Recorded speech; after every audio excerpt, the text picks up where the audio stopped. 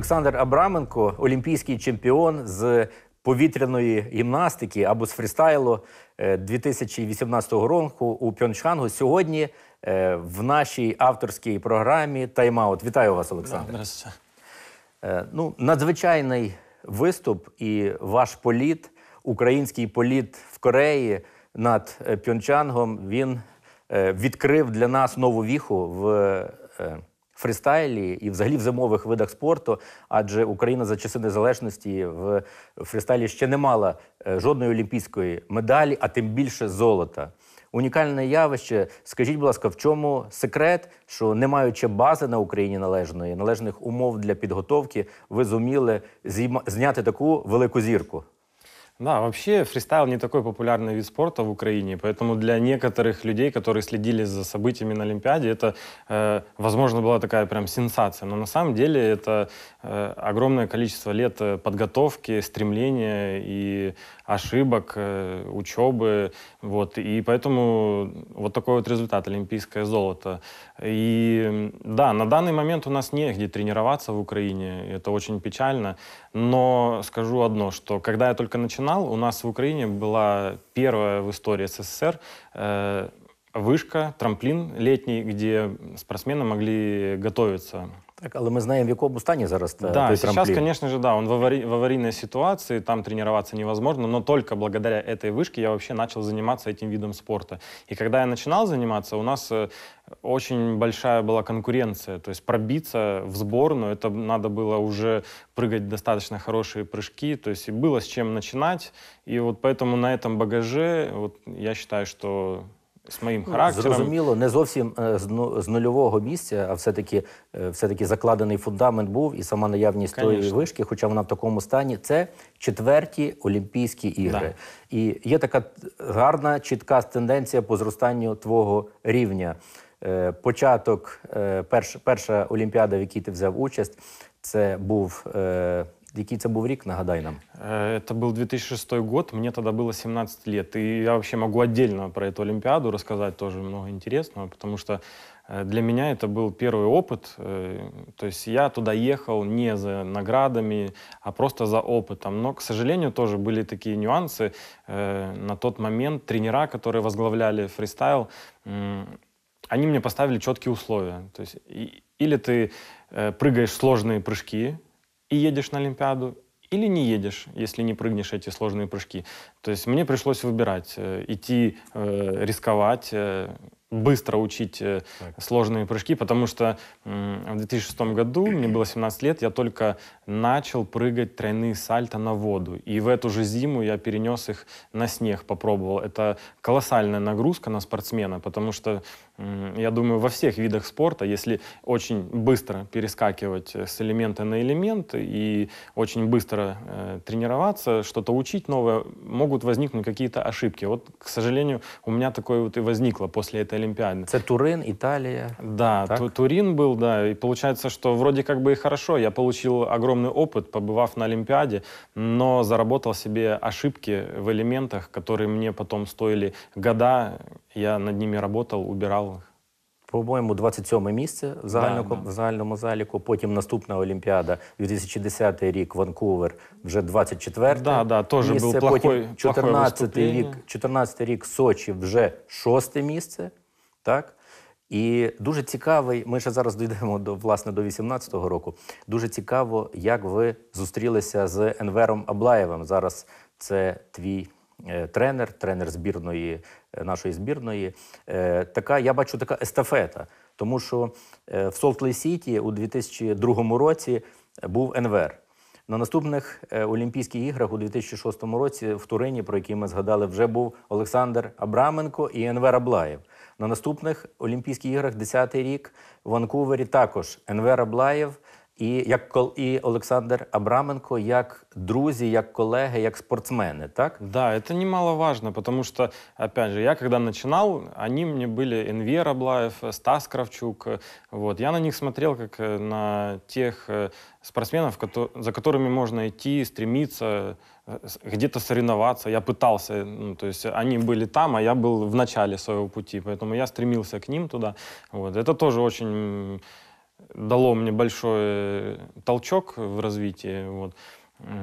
И поэтому, когда стал вопрос э, тренера после э, Сочи, потому что, опять же, вот все Олимпиады, которые были, вот где-то какой-то всегда был нюанс, который мешал хорошо подготовиться, хорошо выступить, там где-то травма, э, где-то э, человеческий фактор, потому что не ту программу выбрали или поспешили где-то. И, вот. А уже после 2014 года я понял, что надо или нормально готовиться, или уходить вообще со спорта. Поэтому также я и пришел в министерство и сказал, что или мы получаем нового тренера главного, или собирайте новую команду, потому что, ну, а смысл?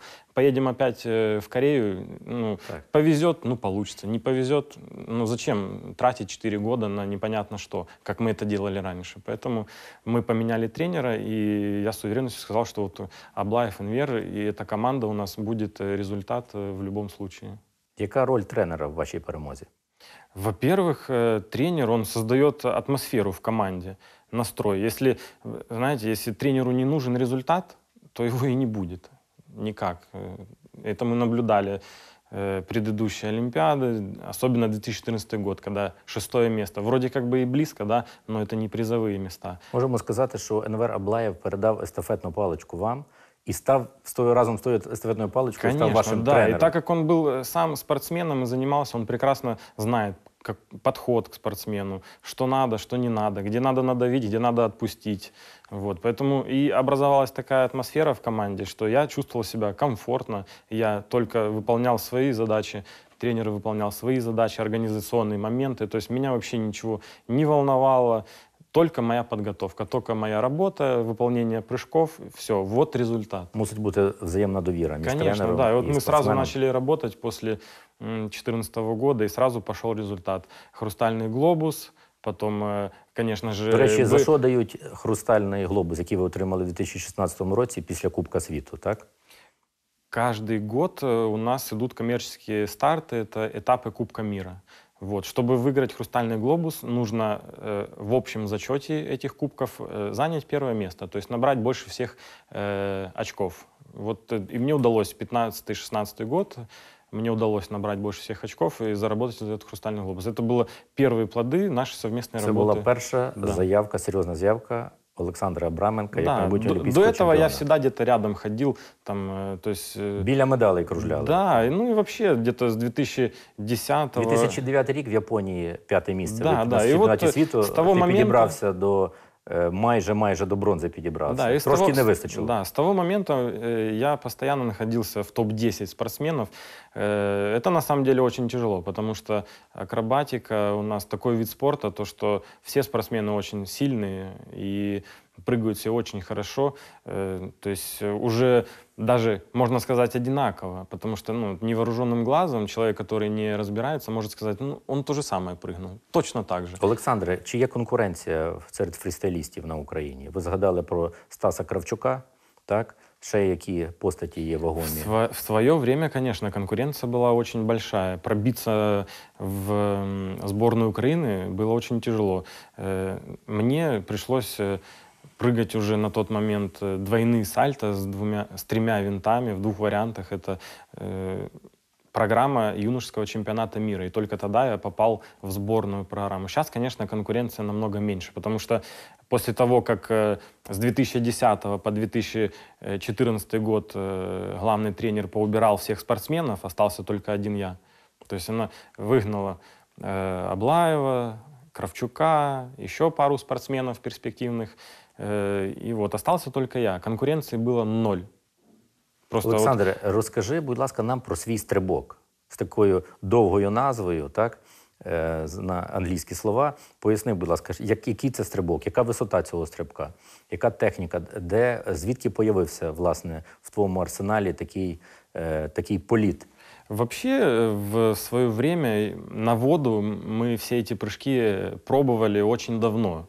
Но самая сложность это перенести все на снег, потому что все-таки эмоционально на снег э, вроде как бы и безопаснее прыгать, мягче приземляться, но все равно как-то эмоционально э, кажется, что опаснее. И я его тренировал давно, но на снег не переносил, потому что плохое было приземление. Вот из-за того, что я начал рано пробовать сложные прыжки с вращением, с элементами, у меня проблем не было никогда. У меня была проблема только с приземлением, потому что мне м, из-за того, что я рано начал прыгать сложные прыжки, я стал бояться приземления. И поэтому А приземлення дає 30% Конечно, по балах, да. так? Вот. И я не мог э, правильно приземляться, и это меня мучило долго, и я исправлял эту ошибку. А 20% дає висота стрибка. Яка висота твого е, чемпіонського олімпійського стрибка? Ну, вообще они где-то все плюс-минус в одном диапазоне. Это приблизительно где-то 16-18 метров. То есть э, высота э, складывается, сам трамплин, с которого мы вылетаем, он 4,20. Э, Плюс пролет вниз по приземлению тоже где-то дает метра три. И вот высота в воздухе 10 метров. То есть и вот если все сложить, то в общем мы получаемся где-то э, 16-18 метров. Ну, повітряна акробатика в тебе бездоганна. Е, І оця е, с- велике е, значення має артистизм, мені здається, спортсмена. Хто поставив тобі, власне, оце, коли е, це ж тіло повинно е, гармонійно, естетично е, кружляти в повітрі? Ну да, звідки, само- це, звідки це в тебе взялося? Само слово это фристайл, это как э, свободный стиль. Вольный Вот у, стиль, у так. каждого, у каждого спортсмена есть свой стиль исполнения, но самое главное это все-таки техника исполнения. Она должна быть правильной. Без правильной техники невозможно, э, какой бы там у тебя артистизм был, не был, э, занимать места не получится. Поэтому а всю мою технику, все мои прыжки меня научил мой э, тренер личный Юрий Кобельник. Вот в свое время он меня Це тренировал він очень тебе тренував до 2014 року? Да, да, да. То есть вот все знания он мне заложил, всю технику правильную, вот, потому что он сам занимался батутом, и вот все элементы э, он мне передал. И вот поэтому с элементами у меня проблем нету. А які перспективи в, на сьогоднішній день у фрістайла е, на, на е, як популяризація, щоб популяризувати цей вид спорту? Чи діти бажають займатися фрістайлом? В свое время после Олимпиады меня приглашали в школы, там, заведения учебные, вот, пообщаться с детьми. И, конечно же, я видел, что очень много э, детей, они подходили, спрашивали, а куда можно пойти записаться, позаниматься. А я с разочарованием говорил, что, к сожалению, тренироваться у нас негде. То есть э, м, Тобто дітей нема чим заохотити сьогодні сказати. да, вот Тут є мы в- база, тут в, є... Ни- в, Ни- в Николаеве я был, вот у нас в Николаеве э, тренироваться негде. Поэтому м, есть у нас там ФОК, да, но тоже много людей туда не могут прийти, потому что маленький, один батут всего лишь, э, объем маленький, поэтому некуда даже приглашать э, детей. Олександр, в 2016 році ти отримав досить серйозну травму. Е, Зв'язки, меніск. І чи була загроза е, майбутньому е, спортивній кар'єрі майбутній твоїй?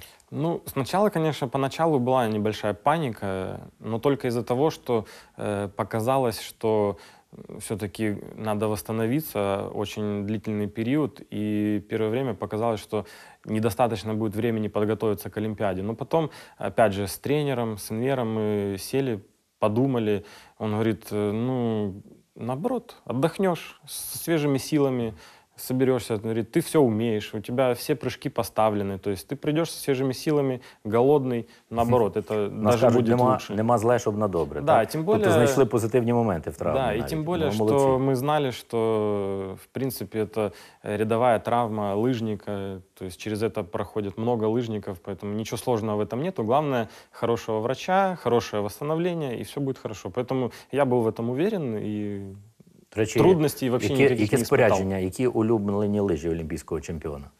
Наши украинские, ТИСа. Это самые лучшие лыжи на данный момент в мире, я считаю, для акробатики, потому что они очень э, следят э, за тем, э, что нам необходимо. Вот мы им рассказываем, что бы мы хотели в лыжах изменить, они следят, меняют, и нам это очень нравится. Они Ти в очень наших, крепкие. ви, е, Олександр, ти в наших вітчизняних лижах здобув олімпійську медаль. Да, я больше скажу, наша э, лыжа, которая произведена в Украине, она сейчас висит в Швейцарии, в Лозанне, в музее Олимпийском. Це гарно. Я думаю, що це багатьом буде, буде цікаво. Да. Це багатьом буде цікаво. Е, Є дуже багато різної інформації стосовно твого особистого життя. Е, чи плануєш створення сім'ї? Чи, е, тому що хотілося б, щоб в олімпійського чемпіона були, були, були підростаючі покоління, які би, Хай. яким би батько міг передати свій досвід. Конечно, да, я об этом думаю. И вот н- на данный момент я переехал жить в Киев, э, занимаюсь э, обустройством жилья, э, ремонтом, а в дальнейшем уже и задумаюсь о пополнении в семье. Обязательно. До речі, на рахунок житла, і, е, на- як держава тебе підтримала після Олімпійських ігор? Мне в Николаеве подарили однокомнатную квартиру, как и обещали. Але все-таки олімпійський чемпіон вибрав собі місце проживання місто Київ, так? Да. Ну, потому что, м, во-первых, мне тяжело было часто ездить тоже на интервью, на всякие мероприятия. Ну и посмотрев на это все, я подумал, что, ну, а м, что в Киеве, что в Николаеве мне тренироваться негде. Но тут даже больше возможностей, потому что есть залы. Вот, допустим, у м, Федерации по прыжкам в воду, у них есть свой э, зал, э, тоже в Голосеевском районе, недалеко там, где я живу. И они мне говорили, что без проблем можешь приходить, тренироваться. То есть Тобто в это- твоєму виді спорту головне це і акробатика, лижі, координація рухів, напевно, так? Що ще важливо Для того, щоб стати спортсменом високого класу? Вначале важно все, обширное развитие спортсмена, потому что, ну, если только узконаправленно тренировать, какая-то нештатная ситуация, спортсмен не справится. Поэтому э, в комплексе надо все развивать. И когда мы начинаем когда я начинал готовиться, это в мою подготовку входило все. И гимнастика, и брусья, кольца, и подкачка тоже немаловажно. Огромную роль играет э, батут. То есть это самое главное, что развивает э, координацию и где мы разучиваем составляющие элементы. Взагалі, унікальна твоя перемога ще й тим, що ти переміг у, е, на Олімпійських іграх е, у китайця і у росіянина е, через те, що в них є база для підготовки спортсменів, повноцінні бази є. І багато інших країн, там, де спортсмену не потрібно покидати свою країну, їхати так, як ти їздиш в Фінляндію постійно тренуватися, так е, ну все-таки в чому секрет тої перемоги? Як вдалося, все одно має бути якась певна кількість е, стрибків. Так, треба настрибати е, відповідну кількість разів, щоб тримати рівень, тримати планку на е, виступі на майбутніх змаганнях. Да, вообще у нас такой вид спорта, то что мы выступаем на открытой местности, поэтому в свои коррективы в мой прыжок может внести абсолютно любое изменение погоды, ветра. То есть, э, поэтому я считаю, что каждому спортсмену еще э, нужно надеяться на удачу. То есть, э, я же говорю, на Олимпиаду приезжают 25 спортсменов, они уже отобраны от своей страны, они выиграли квоту. То есть это лучшие спортсмены со всего земного шара. Вот. Каждый э, достоин выиграть золото, и он может это сделать. Поэтому мы уже соревнуемся, м, кто покажет лучший прыжок именно вот в данный момент, в данную секунду, вот, когда тебе надо сделать. И, конечно же, очень хорошо, когда природа, погода позволяет тебе сделать твой прыжок м, идеально. Вот, и этот спортсмен выигрывает. Дуже цікавий вид спорту, тому що він відбу- він е, виступ спортсмена відбувається стрімко. Це буквально е, кілька хвилин. Це і Фейсбук, і Інстаграм, і, і сьогодні, враховуючи те, що час дуже швидко біжить, і люди сп- навчилися чи звикли сприймати короткі моменти інформації.